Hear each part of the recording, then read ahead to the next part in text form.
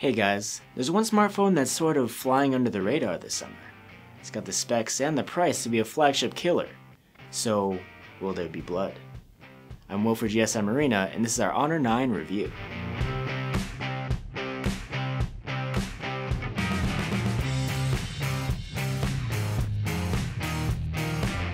With a body of Gorilla Glass, the Honor 9 is one shiny phone. The back is curved and made of 15 different layers. The way it reflects light is pretty interesting, almost like a metallic sheen. It's totally smooth too, with no bump from the two cameras. Around the edge is a sandblasted aluminum frame, which is a bit rounded. The transition from the glass isn't seamless, but it still looks good. The phone is extremely slippery and attracts fingerprints, so you should probably grab a case, though it's a shame to cover up all this pretty glass. The top and bottom bezels are sort of large, so we don't have a high screen to body ratio. But it makes room for an always on front fingerprint scanner, which acts as a home key. It's super fast by the way, and surrounded by two backlit touch navigation keys. You can disable the keys and just use the fingerprint scanner for navigation too. A tap on the surface takes you back, a longer hold takes you home, and a swipe in either left or right opens the task switcher, there's plenty of internal storage with the Honor 9, and you can expand it further through the hybrid microSD and SIM slot. At the bottom is a 3.5mm headphone jack, the USB port, and the speaker. The speaker is loud with clean and rich sound. There are no stereo speakers though. At the top is an IR blaster which you can use to control your appliances. The build seems solid and is nice looking, but there's no dust or water resistance, so be careful not to spill your drink. The Honor 9 has a 5.15 inch Full HD display. It's a pretty bright LCD, with deep blacks and great contrast ratio. Sunlight legibility is very good too. Inside the Honor 9 is a Kirin 960 chipset. It's the same as on Huawei's P10. In benchmark tests, it performs really well, almost at the level of the OnePlus 5. It feels snappy too, with no lag to speak of.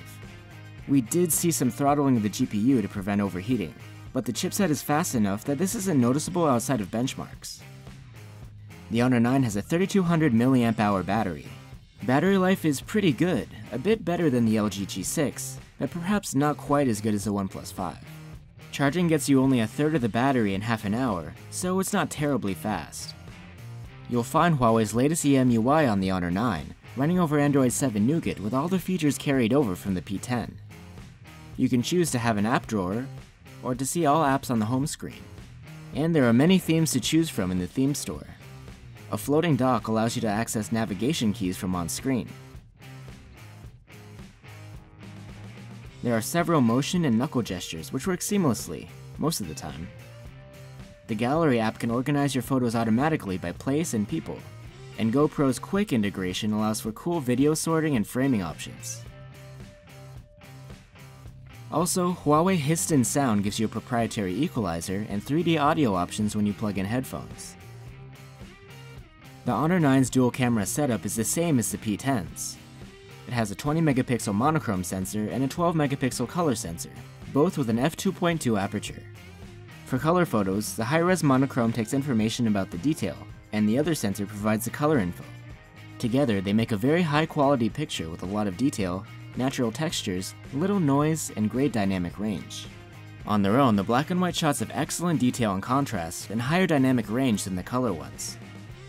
The autofocus wasn't as reliable though, and there's no manual mode for the monochrome camera, unlike on the P10. In low light, the cameras do a great job, regardless of whether you're shooting in black and white or color. The camera lacks OIS though, so shooting at nighttime might not be its strong point. Together, the two cameras work to create a 2 times optical zoom with little to no loss in quality.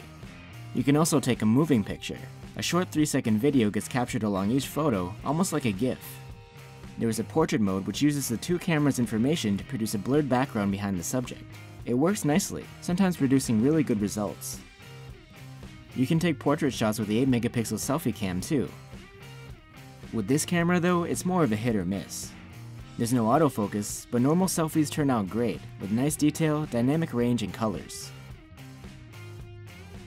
As for video, the Honor 9 can record in 4K at 30 frames per second. It's sharp and detailed with good contrast and pleasing colors, but there is some visible noise.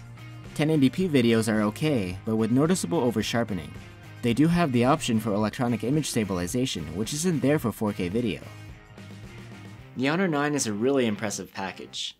For 450 bucks you get a great chipset, battery life, and camera, and tons of software features with the EMUI.